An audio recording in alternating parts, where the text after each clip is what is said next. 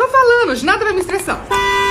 E aí, motor, foi mal demora, tava ficando bonita. Então pode voltar porque continua feia. Sem problemas, posso seguir o aplicativo? Mano, sei lá, você que é motorista, se vira. Eu vou virar e meus dois pela sua cara.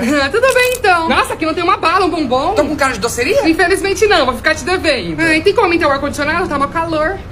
Prontinho. Nossa, e esse carro tá meio sujo, né? Cheio de pó. Tá incomodada limpa com a língua. É, até a senhora chegar tava limpinho. O quê? Você tá insinuando que eu que sujei seu carro? Se a carapuça serviu? Como é que é? Vira a esquerda no rio, foi o GPS. Ah, é brincadeira, hein? A gente paga um rim por essa viagem, tem que entrar nesse moquito. Então da próxima vez é de ônibus e não enche meu saco. E aliás, tem como andar mais rápido? Eu tô super atrasado. Problema seu, acordasse mais cedo, baranga. Infelizmente não, o trânsito tá terrível. Então pelo menos você pode passar no centro e pegar minhas quatro amigas? Que isso? Meu carro virou caminhão de lixo? É que não é possível levar cinco passageiros no carro, né, senhora? Mais uma vez eu pedi pro motorista e ele levou. Mas aí foi uma gentileza que ele fez. E você não pode ser gentil também? Não. O quê? Chegamos, já pode descer do carro. Ah, como você é folgado! E se prepara porque eu vou te dar uma estrela no aplicativo. Você vai se arrepender de ter falado assim.